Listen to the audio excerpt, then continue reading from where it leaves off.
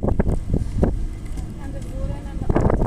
Ja, ja, ja. Achteraan de rode reflector, vooraan de gele reflector.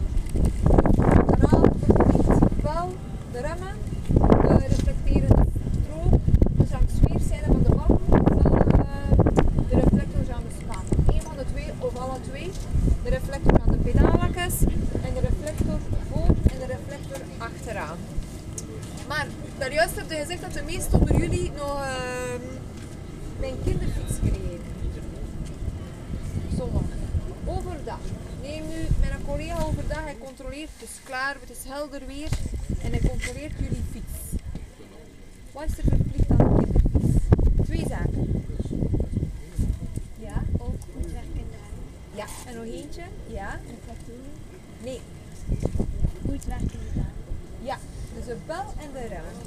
Dus de kinderfietsen, de mountainbike en een koersfiets. Overdag bij helder weer. Enkel, bel en rem. Dus de kinderfiets dan, de koersfiets en de mountainbike. Maar neem in de winter ook op je fietsje naar school, bij je kinderfiets. En soms dan ook donker.